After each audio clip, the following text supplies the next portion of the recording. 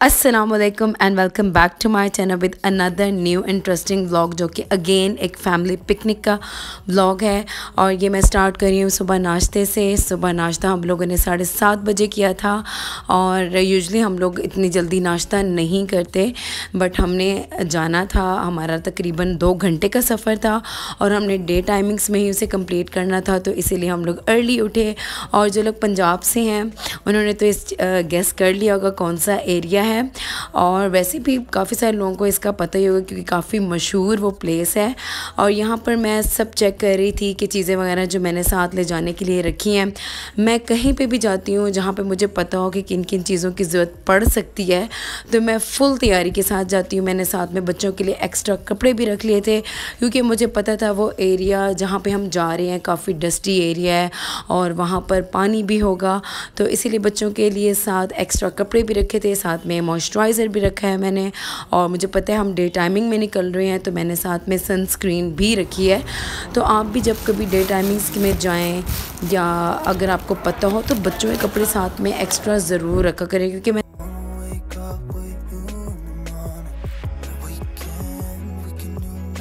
और यहाँ पर मैं पॉलीथीन बिछा कर मैं फ्रूट्स भी रख रही थी क्योंकि साथ में मैंने कहा सफ़र में फ्रूट्स बच्चे ज़ाहिर है स्नैक्स लेते तो हैं, लेकिन क्यों ना बच्चों को हेल्दी ऑप्शन दिया जाए जब घर में मौजूद थे तो मैंने उठा लिए।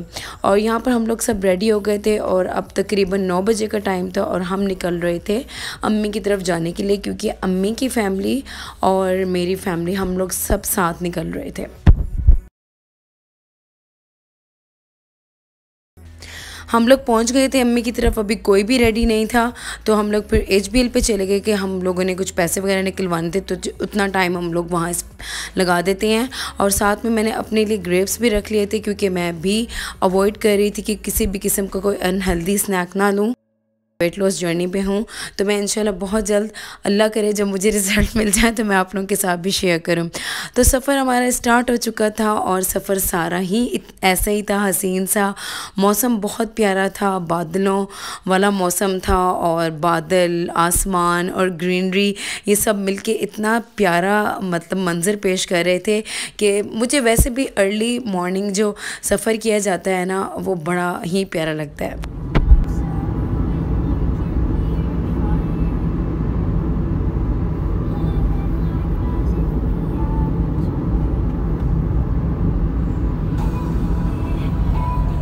और जैसे जैसे हम लोग मंज़िल के करीब पहुँचते जा रहे थे यादें जो खूबसूरत सी जुड़ी हुई थी इस मंज़िल से वो आती जा रही थी। मैं इससे पहले इस जगह पर अपने यूनिवर्सिटी के ट्रिप के साथ आई थी जो कि आज से बहुत साल पहले की बात है। तो वो जब आ, मतलब कि चीज़ें और आ, सामने ये एरिया जब नज़र आ रहा था तो वो तमाम जो फ्लैशबैक्स मुझे आ रहे थे और उस आ, उस टाइम की यादें दोबारा ताज़ा हो रही थी तो सफ़र और भी मज़े का हो गया।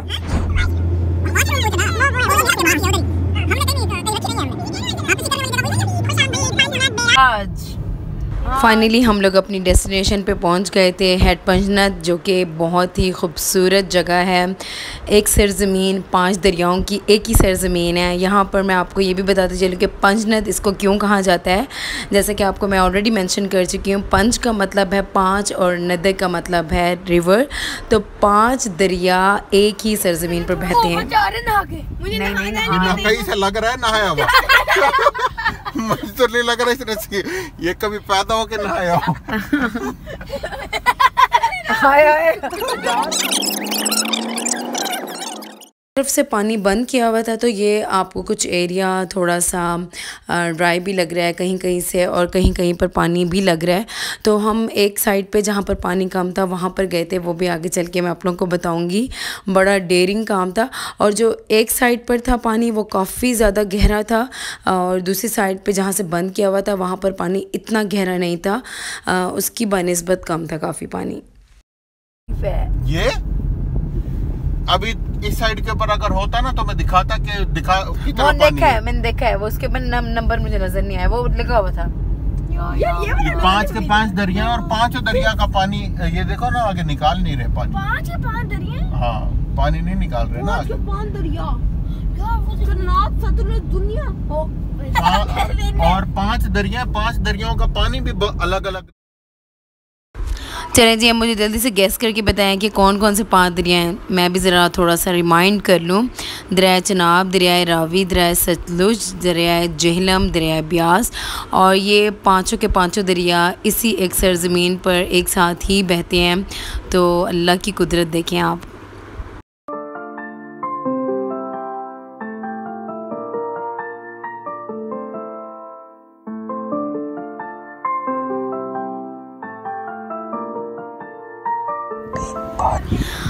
चलें जी आगे चल के आपको नज़ारा दिखाते हैं ख्याल करके जाना है बहुत ही ख़तरनाक जगह है। और ये देखिए माशाल्लाह कितना मतलब खूबसूरत ये मंजर लग रहा है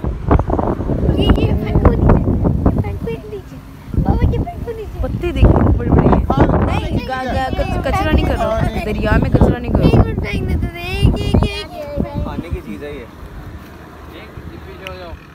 और ये बच्चों का काम जो कि है, बस इनको जहाँ भी कोई एरिया मिल जाए, कहीं से भी उनको अट्रैक्शन लग रही होती है ना कि खेलने का एरिया है चाहे वो रेत की टीलें हों या जो भी हों वो खेलना शुरू कर देते हैं। और ये था कि रेतला बहुत था एरिया ज़ाहिर है पानी भी रेत भी मट्टी भी तो ये सब था। तो इसीलिए मैं एहतियातन बच्चों के कपड़े वगैरह एक्स्ट्रा लेकर आई थी। अब हम लोग दूसरी साइड पर आ गए थे और यहाँ पर अच्छा। पानी इस जगह से बंद किया हुआ था क्योंकि वरना यहाँ पर सारा पानी बहता है इस जगह पर पानी बंद किया हुआ था और कुछ एरिया जो ड्राई था फिर हम लोगों ने वहाँ पर जाकर देखा। एरिया सेफ़ था मतलब इस लिहाज से कि आप उसके ऊपर चल सकते थे। मट्टी के ऊपर काफ़ी ज़्यादा सॉलिड थी। आ, लेकिन ये था कि काई वगैरह भी थी तो आ, बड़ों की सुपरविज़न में आपने लेके जाना है। बच्चों को अकेले बिल्कुल नहीं जाने देना।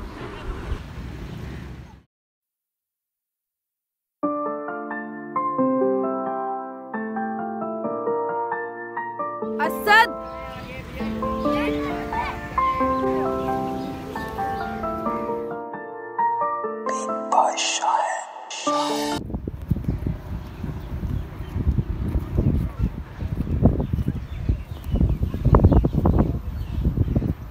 स्टिक चावाना सेल्फी स्टिक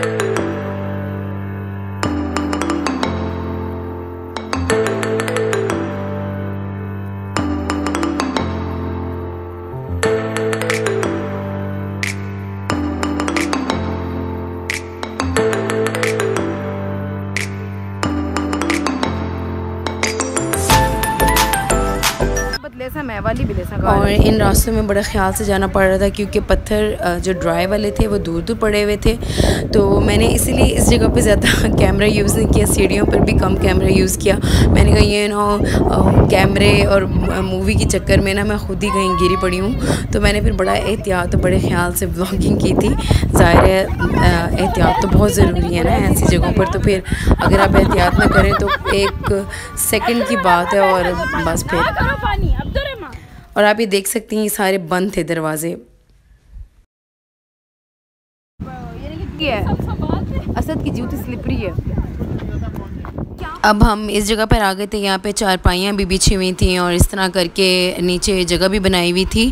क्योंकि ज़ाहिर है अब भूख भी लग रही थी घर से हमने नाश्ता भी जल्दी किया हुआ था तो हम लोग घर से कुछ भी नहीं बना कर आए थे क्योंकि ऑलरेडी हमें पता था कि यहाँ पर मछली आराम से मिल जाती है और आप अपनी पसंद से मछली अपने हिसाब से उसका वेट करवाएँ उसके बाद अपने सामने उसकी मैरिनेशन करवाएँ और इसी वक्त ही आ, मतलब बन जाती है फ्रेश माँ दी अख दा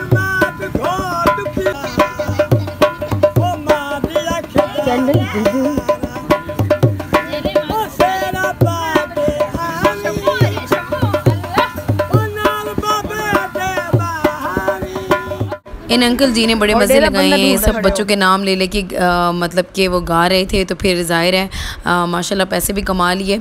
तो बस अब हम लोग फ़िश इंजॉय करके वापसी की तरफ़ जा रहे थे और यहाँ पे मैं रिव्यू दे दूँगी कि अगर आप लोग भी जाएँ तो आप लोग स्टीम फ़िश को खाइएगा बनस्बत फ्राइड की क्योंकि फ्राइड में मैंने मैंने मैरिनेशन सॉरी मैरिनेशन को इतना टाइम नहीं हुआ था जिसकी वजह से वो बिल्कुल ही फीकी रह गई थी बट ये था कि जो स्टीम फ़िश बनाई गई थी वो बहुत मज़े की और बहुत ही कमाल बनी थी। तो बस अब वापसी का सफ़र शुरू हो गया है। ओवरऑल हमारा एक्सपीरियंस बहुत अच्छा रहा। अगर आप भी जाना चाहते हैं बच्चों के साथ ज़रूर जाएँ बट बहुत ख्याल कीजिएगा बच्चों का। और यह कि मौसम भी ठीक था गर्मी थी लेकिन यह कि खुला एरिया होता है तो इतना ज़्यादा फील नहीं होती। इसके बाद हमने एशिया कैफ़े पर स्टे किया रिफ़्रेशमेंट के लिए, चाय के लिए थोड़ी सा ब्रेक लिया। चलिए जी, मैं यहाँ पे ब्लॉग को एंड करती हूँ। आई होप आपको ब्लॉग पसंद आया होगा। मुझे फ़ीडबैक ज़रूर दीजिएगा। टेक केयर अल्लाह हाफ़